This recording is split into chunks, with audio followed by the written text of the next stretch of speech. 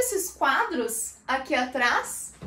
Fui eu que fiz. Mas tu sabe falar eu que fiz em inglês? Vem comigo! Hi everyone! Aqui é a Teacher Sui da Fluency Academy e hoje eu vou te ensinar um jeito de usar myself, que aparece na frase quando a gente quer enfatizar quem executou a ação, que no caso fui eu. Existem nove reflexive pronouns, que é como a gente chama essas palavrinhas que têm essa função. Gente usa cada um deles dependendo da pessoa que a gente está falando. Por exemplo, Charlie washed the car himself. Charlie washed the car himself. We made these cookies ourselves. We made these cookies ourselves. E agora, para falar que eu mesma pintei esses quadros aqui atrás.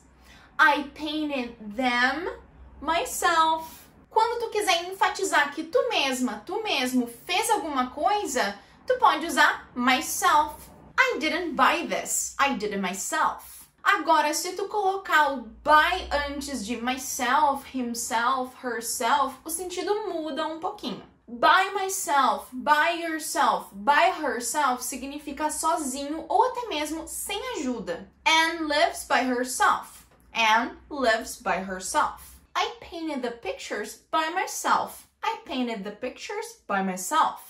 Te ajudei um pouquinho a entender o uso de reflexive pronouns como myself? Gostou dessa dica? Te inscreve no nosso canal porque aqui tem muitas outras dicas legais. E não esquece de ativar as notificações para tu não perder nada. Bye!